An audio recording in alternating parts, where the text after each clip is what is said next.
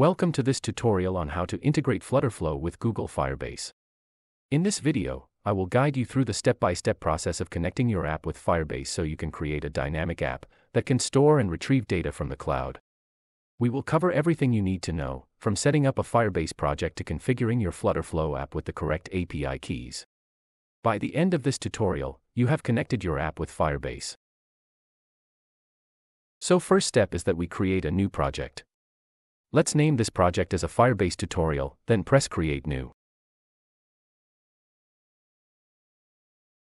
Now this kind of window pops up. If you have project already existing you can also connect your app to Firebase from settings, but for now we click on Next Step. Here we need to add our Firebase project ID, so in order to proceed from here, we need to go to Firebase and create our first project.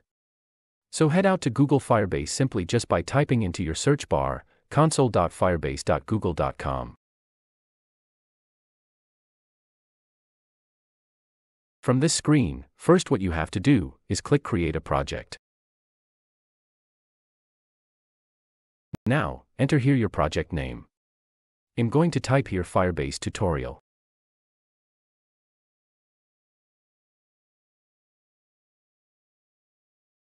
Now you get to decide whether you want to have Google Analytics for your app. This collects all kinds of data, for example how your users is using your app or if your app crashes where the issue might be. I personally recommend you to use it because I can't see any downside from enabling this, but for this project I'm going to disable this because it will make this tutorial a lot quicker.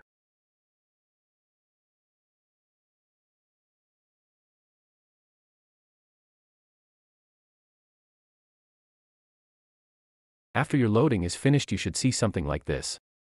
You can see from the left side some of Firebase's functions, for example authentication and Firestore database, but we get to them later. For now, we need to give Flutterflow access to our Firebase, and in order to do that, we need to click this gear icon and select users and permissions. Now you need to click Add a member, and type down Firebase at flutterflow.io, and at the role, we need to select editor.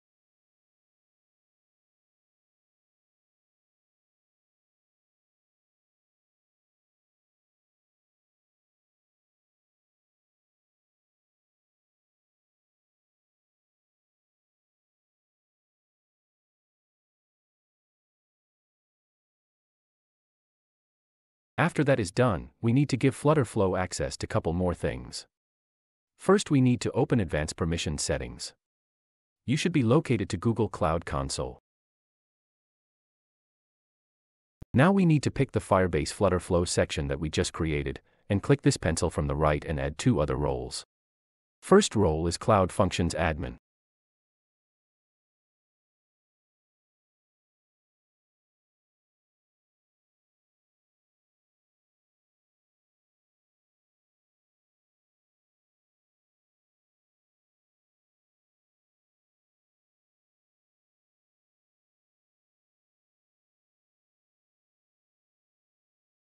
Second role is Service Account User.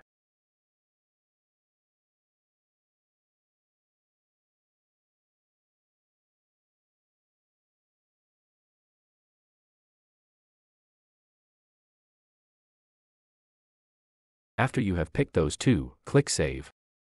That's all we have to do from Google Cloud Console, so you are free to exit from that site and head back to Firebase Console. Next thing is, we have to add the Firebase database. So in order to do that, click here.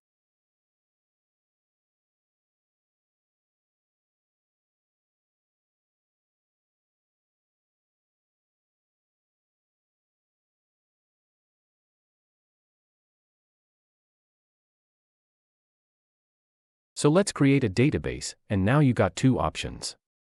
Here is production mode and test mode. Here we are going to pick test mode. Remember before you launch your app, you're going to want to update your security rules, but this allows us to get working faster. Next we are choosing the Firestore location.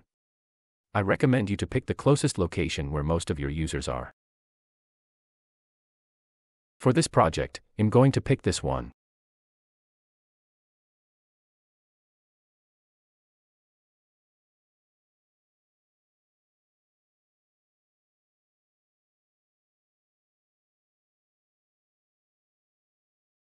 Databases allows us to store and get data from your app. For example, if your app has pictures, you can save them here. Now when that's done, we are almost finished. We still need the project ID what Flutterflow asked, and we find our project ID by clicking the gear icon and selecting project settings. In here we can see our project ID, so we are going to copy it and go back to our app. Let's paste our project ID in here, and then click Connect. Now we got our green check mark that it is connected, after that, we click on this auto-generate config files.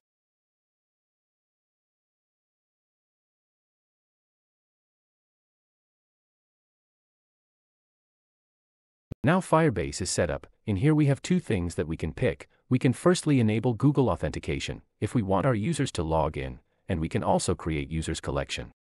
This will automatically create users folder to our database, where users information will be stored.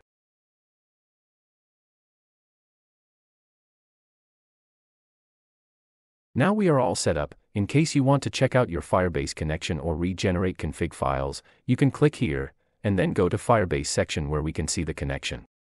Congratulations, you have successfully learned how to connect Flutterflow with Firebase database.